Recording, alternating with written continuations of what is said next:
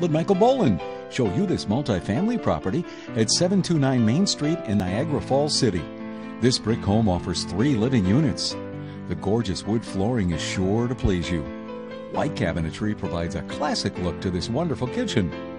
A covered porch extends your living space into the outdoors. Contact Michael Boland to arrange your personal showing.